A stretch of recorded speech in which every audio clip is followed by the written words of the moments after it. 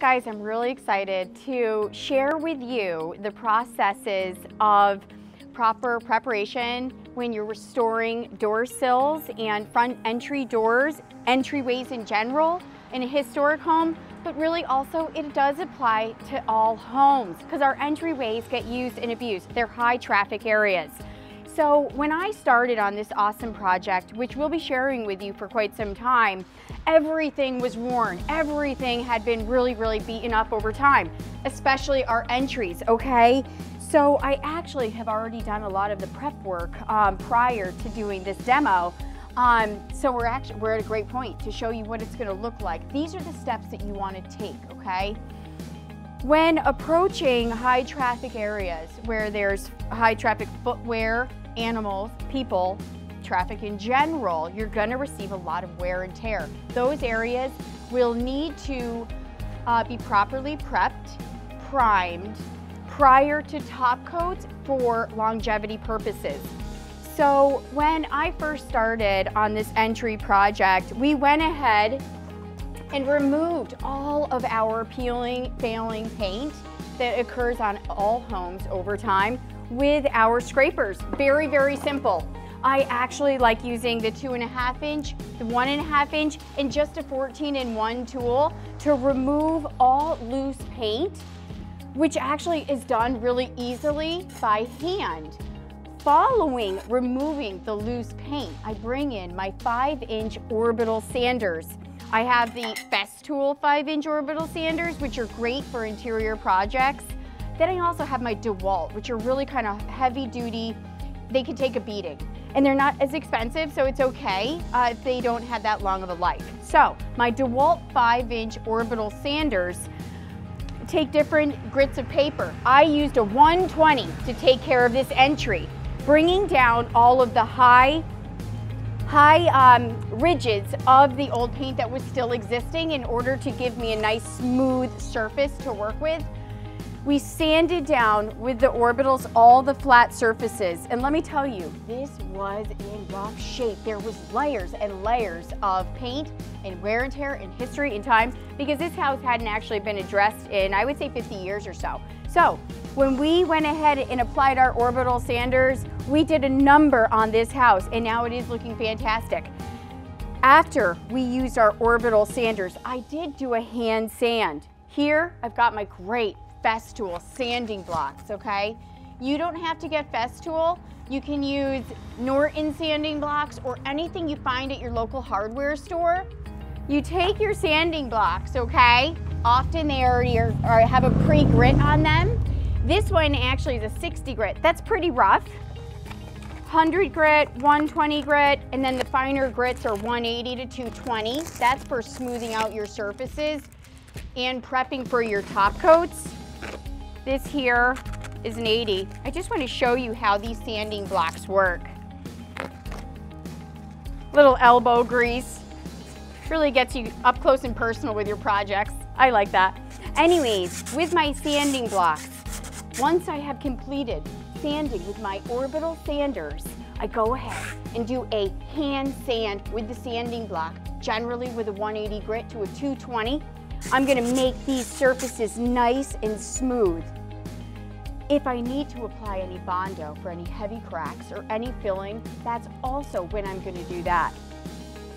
What we're gonna do when we're ready and when we're smooth and our surfaces are prepped, we're then gonna apply, apply we're gonna apply an oil penetrating primer. There's multiple oil primers, okay? This here is a cover stain. I like this product because it dries in one hour and most oils can take four hours. A long dry oil can take eight to 12 hours. And we do use those in certain areas for certain reasons. Here on our sills, honestly, I do like to go ahead, especially when we're dealing with fall and winter and un, you know, unexpected temperatures. I like to do two coats of this Hour Dry Oil Cover Stain product. And that's actually where we're at right here. We have our oil. All I need to do is a quick clean, a quick wipe down, and I am ready for my top coat, okay? Ready to apply my sill paint. I haven't decided on a damn color. There's so many options. Oh boy, but I'm gonna get there. before I do that, this is what I'm gonna do, okay? Let me show you. When you're picking your front entry color, I make it a point and uh, make it very clear that it's an important statement piece. Um, it reflects how you want your home to be seen. It's your welcoming area. Um, but also, I pick my front entry color to coordinate with the colors that I've chosen for the rest of the house. Living in New England, working in New England, I do choose a lot of my colors from the historic palette. Picking my front entry door really has a lot to do with the personality of the home and the location of the home, where it sits on the property, um, how the sun hits it.